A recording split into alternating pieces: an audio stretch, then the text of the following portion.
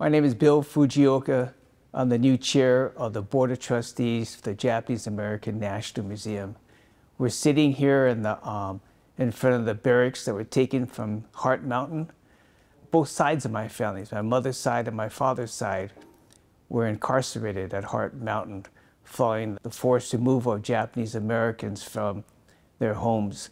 But like a lot of Sanseis, third generation Japanese Americans, our parents did not talk about camp. My father, who was a decorated veteran with a 442, never talked about his war experience. And so for me, as a member of the Board of Trustees for JANM, the most important thing we could do is not only preserve the stories and the memories of what happened during World War II, but also share those stories with others. It's very special because my mom's deep commitment and involvement with the museum from the beginning. She was part of the original fundraising group to build this amazing structure. But also, it's an amazing honor to follow Secretary Mineta.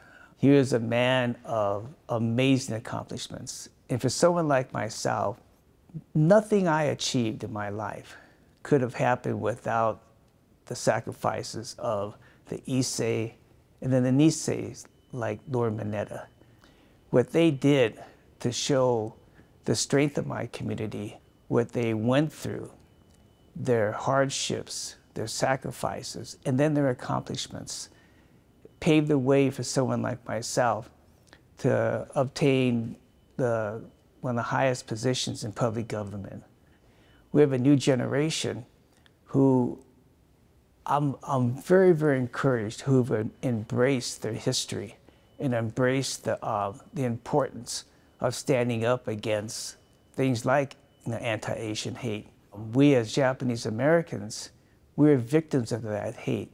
I would like us to be a very strong advocate to speak to not only the um, increase in anti-Asian hate, but the consequences to a community if that goes unabated. Across the plaza from the museum, we have the National Center for Preservation of uh, Democracy. It's my hope that that becomes a forum to discuss issues that impact not only the JA community, but equally important, the entire Asian American Pacific Islander community. My grandfather was an extremely prominent member of the JA community here in Little Tokyo. He owned the largest dealership west of the Mississippi of any ethnic group, of any race. In this particular picture has him in front of his garage. He played an amazingly important role with um, Japanese farmers and other Japanese businesses. Back then, it wasn't, they didn't have finance plans. But he went to each one of them and said, um, pay me when you can. And so a lot of poor farmers were able to grow their farms. And the, the farming industry on the West Coast was changed by the Japanese Americans. You know, he has an amazing legacy here in Little Tokyo. And hopefully, in this position, I can build upon that legacy.